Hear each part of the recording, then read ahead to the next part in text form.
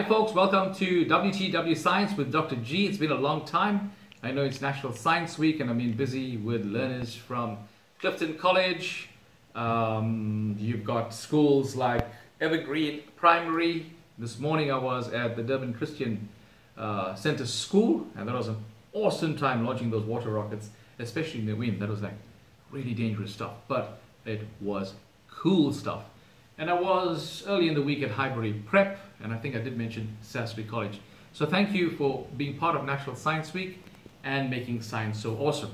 So today I just want to look at a very simple concept, and that is of pressure. You know, we have adults, our teachers, our parents, all complaining about them being under pressure. What does that mean? Okay? And you've also had a look at some of these cans, for instance, a paint can and you have these little flames here and also here on a deodorant can it says do not throw into open flame do not puncture when even empty contents under pressure.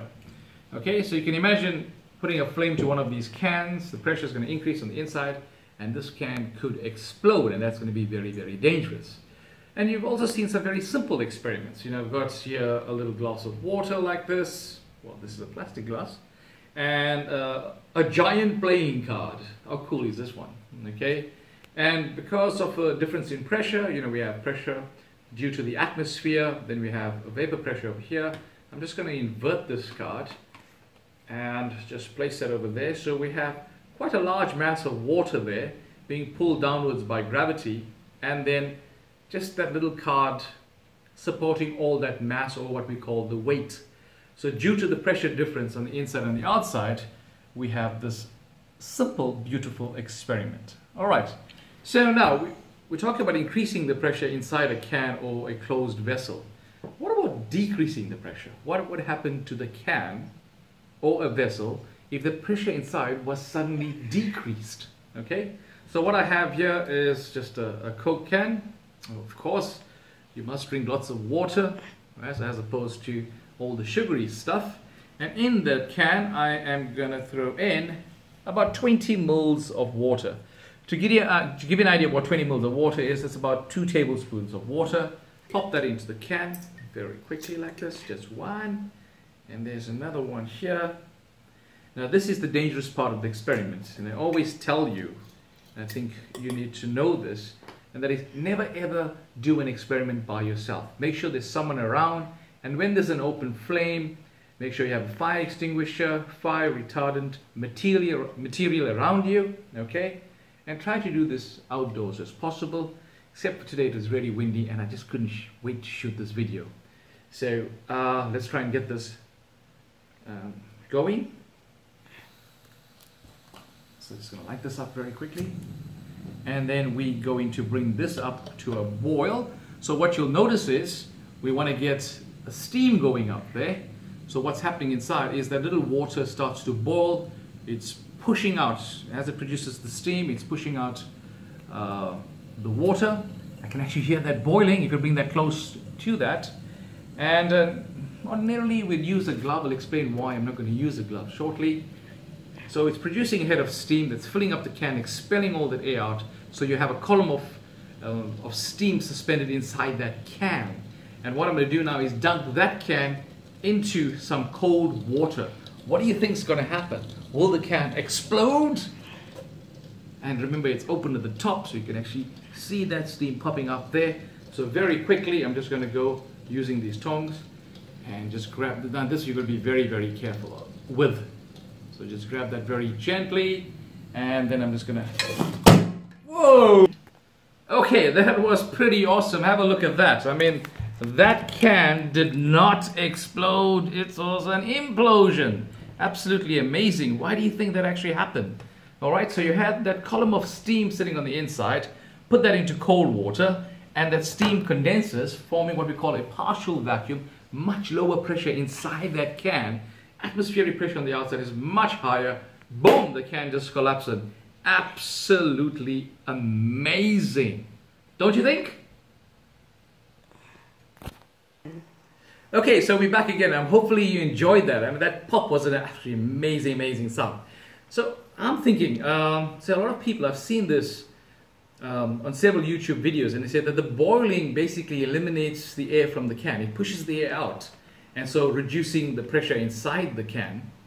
And that's the reason why the can would collapse. But it's mainly the steam. So I'm going to test that, uh, my hypothesis. And then what if I took some liquid nitrogen? That's my favorite liquid, by the way. Remember liquid nitrogen?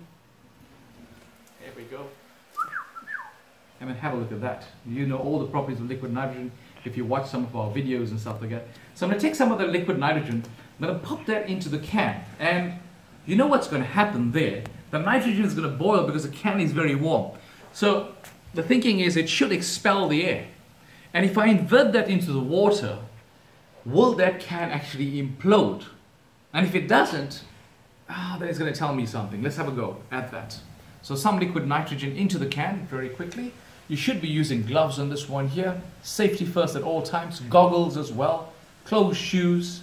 So have a look at that. As I said, that nitrogen is boiling, boiling, and is expelling, expelling the air from inside the can. You can actually hear that. The can is so, so cold.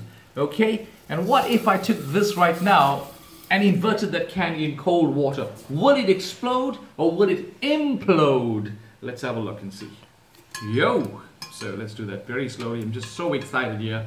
I googled this and I couldn't find anything. The cameraman is shaking there because we don't know the results. And here we go. One, two, three, invert. What is this? Bring it closer, bring it closer. Have a look at that. No implosion, no explosion. Just the nitrogen from the inside has now entered the water and created these little bubbles. So the can is pretty safe Nothing much, actually, nothing much has happened in the can. So what it tells me, is that little theory, is that for the can that collapsed, is actually the suspension of the steam molecules inside the can. When that cools down, converts to liquid, the pressure is quickly reduced inside the can, and hence the atmosphere just crushes the can. With the liquid nitrogen, although the air is expelled from the can, you still have vapor inside there, enough pressure to maintain an equilibrium between the inside pressure and the outside pressure. That is so awesome. Have a look at the nitrogen over here. It's still bubbling away. So while we have the nitrogen, ah, oh, this is amazing. Let's try and draw that out on the top there like this. Absolutely amazing. That is not nitrogen, by the way. The white vapor that you see there is actually a real cloud. And have a look at the nitrogen just boil away on the surface there. One should not stick your hand into the nitrogen there. You will get injured. But this is so sweet. So hopefully, folks, you've found this video quite amazing. Now think about this very carefully. This is a 330 ml can. Is that 330? Yes, 330 ml can. Uh, we could extend this to uh, a 5 liter drum. And wait for this. We are going to do an experiment and hopefully you can join us in collapsing a 210 liter drum just using the atmosphere. Watch the space for details.